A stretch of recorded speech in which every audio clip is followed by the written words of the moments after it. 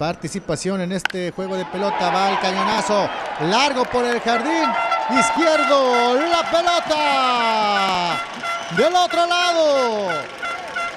Cuadrangular por parte de Fabricio Macías desde que salió. Esa pelota llevaba la etiqueta de irse detrás de la barda y el equipo mexicano está rompiendo el encanto y de esta manera se están colocando adelante en el marcador Junior Villares, una por cero. Qué tablazo por parte de Fabricio Macías, no había duda.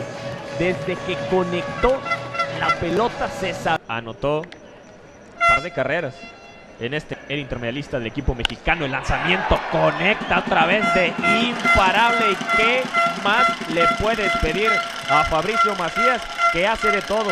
Buena defensa ayer de 3-2 y esta noche nuevamente de 3-2 el primer bat del equipo mexicano. Habrá que revisar mañana los numeritos en la